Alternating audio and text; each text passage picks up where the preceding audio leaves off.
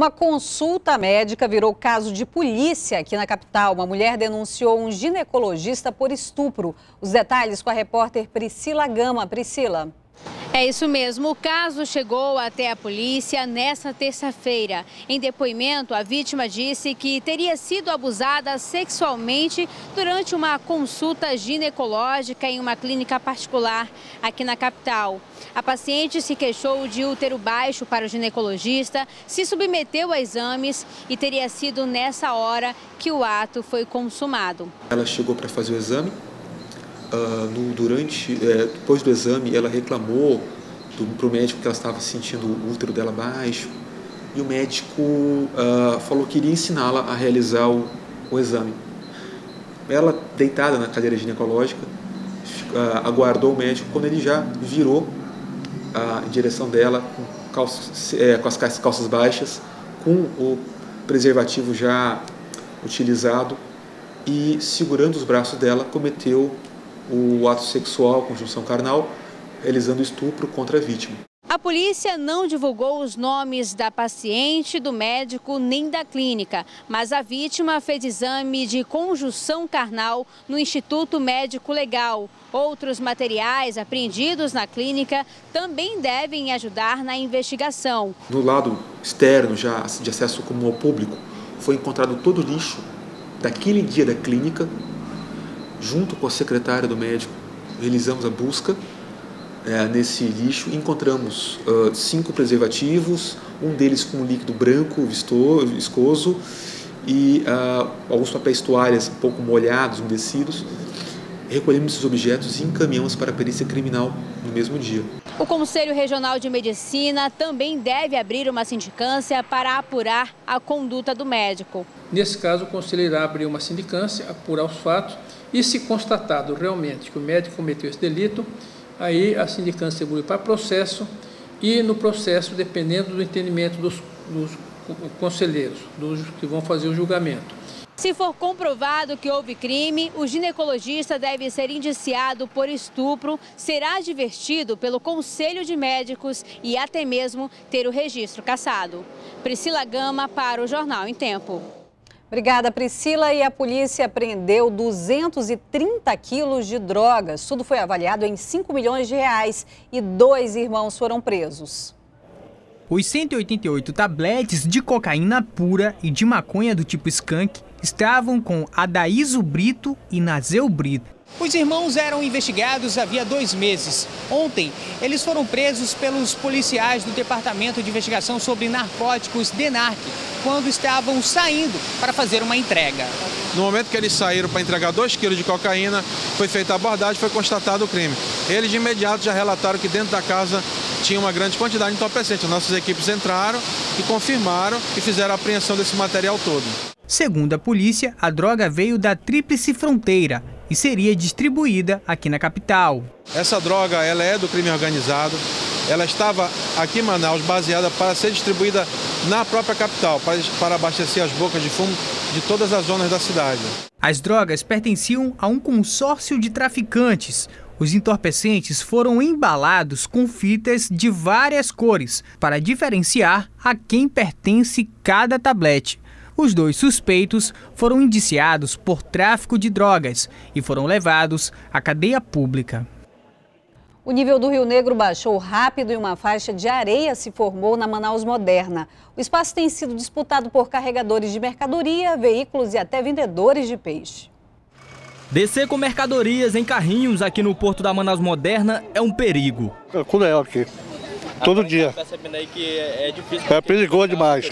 Ninguém se entende carros, caminhões, carregadores de mercadorias e até feiras de peixes ao ar livre. Todos disputam uma vaga na área que se formou depois da vazante do Rio Negro. A gente, como trabalha aqui, quando não chove, né? Mas se chover, para nós vai ficar ruim. Além do lamaçal, o pior mesmo é a quantidade de carros e motos, porque existe apenas um lugar para a entrada e saída dos veículos. E o problema vai continuar, porque o nível do Rio Negro baixa cada vez mais. De ontem para hoje ele baixou 10 centímetros e a cota hoje sobre o nível do mar está em 18 metros e 74 centímetros. Em termos comparativos com o do ano passado, Nós podemos dizer o seguinte, ano passado, na mesma data, o rio tinha baixado 33 centímetros e a cota estava em 21,73, ou seja, o rio hoje está mais baixo do que na mesma data do ano passado, cerca de 2 metros e 99 centímetros. Pequenas praias já se formaram. As embarcações têm dificuldades em navegar nas proximidades do porto da Manaus Moderna. A expectativa é que a partir de novembro, com o início do inverno, o nível das águas volte a subir. E a chuva da tarde de hoje veio acompanhada de ventania. A velocidade dos ventos chegou a 52 km por hora em algumas regiões da capital. Este pedestre tentou fugir da chuva, mas não teve jeito. O trânsito ficou complicado, bem lento. Algumas ruas ficaram alagadas. A chuva foi rápida, durou pouco mais de uma hora, mas o suficiente para causar vários estragos aqui na capital. Muitas árvores não resistiram à força do vento e caíram. Esta aí caiu no Adrianópolis. Luciano, que trabalha a uma rua daqui, estaciona o carro dele todos os dias no local. Mas hoje mudou de ideia. Graças a Deus que deu tudo certo para me estacionar ali do, lado de, ali do outro lado, né? Tá ali o carro, ainda bem, né? Menos mal, né? A mesma sorte faltou para os proprietários desses dois carros, onde esta outra árvore caiu também no Adrianópolis. Neste condomínio, no Parque 10, a árvore quebrou ao meio e assustou. Só uma zoada grande, tipo um trovão aí, eu pensei que era alguma coisa, eu olhei para lá que estava caindo já a árvore lá. Sempre quando chovia essa árvore balançava muito? Eu já tinha escutado o barulho de estralar outras vezes, mas aí eu comuniquei o rapaz aí, ele disse, não, não vai acontecer nada não, agora aconteceu, né?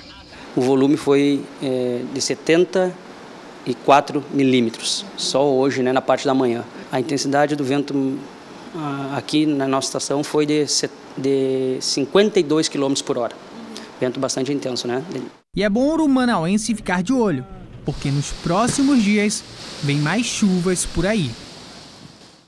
E os eleitores aqui de Manaus mudaram o comportamento nas eleições deste ano. Mais de um milhão de pessoas foram às urnas, mas só 260 mil votaram para vereador.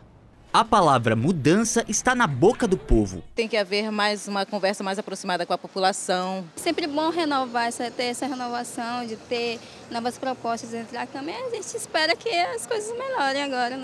E parece que alguns eleitores levaram a sério esse desejo. O resultado foi visto na Câmara dos Vereadores. 48% dos eleitos são novos parlamentares. Mas será que isso representa a tão aguardada renovação? Para 2017, parte dos vereadores que vão discursar e apresentar propostas aqui no plenário Adriano Jorge representa categorias ou grupos. Só para você ter uma ideia, dos 100.211 votos dados aos novos eleitos aqui na Câmara, 32 mil são de novos vereadores que vão representar classes, como professores, polícia, taxista e até mesmo a bancada evangélica. Entre os eleitos está Cícero Custódio. Ele, que é do Partido dos Trabalhadores, é conhecido por defender os direitos dos servidores da construção civil. Sou conhecido pelo Sassá da construção civil, né? Lutando pelo meu segmento. Mas agora sou vereador de Manaus, eu vou lutar por todo o segmento, né? Principalmente na área da terceirização. Mas apesar dessa segmentação, a bancada da mulher diminuiu. Joana é uma das quatro vereadoras que vão ocupar a vaga no Legislativo em 2017. As mulheres elas representam mais de 60% da população, mas na questão de representação, ela fica em torno de quatro mulheres e são 41 vereadores e nós só temos quatro mulheres. Os cientistas políticos explicam que a cultura do eleitor na hora de escolher em quem votar é, na maioria das vezes, aquela de votar em quem está mais próximo do convívio social, ou quando a escolha é aleatória. Por causa da crise política, muitos eleitores não votaram. Dos 1 milhão e 29 mil votos válidos, só 264 mil foram computados para vereadores, o que representa apenas 25%. Isso compromete o parlamento fragiliza o parlamento politicamente e demonstra, de certa maneira, que a população não está muito engajada né, na eleição dos vereadores.